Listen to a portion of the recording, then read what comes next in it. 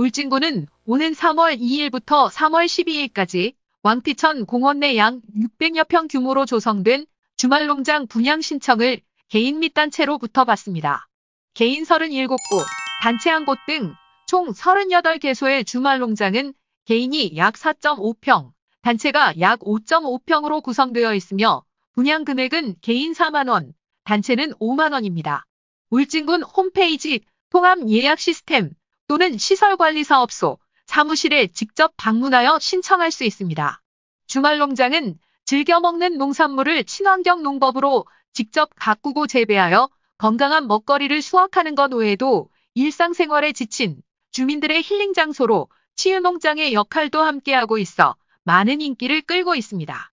손병수 시설 관리사업 소장은 왕피천 공원 주말 농장은 2007년부터 현재까지 성황리에 운영되고 있다며 올해는 특히 코로나19로 지친 국민들에게 휴식처가 될 수 있도록 준비에 만전을 기하도록 하겠다고 전했습니다.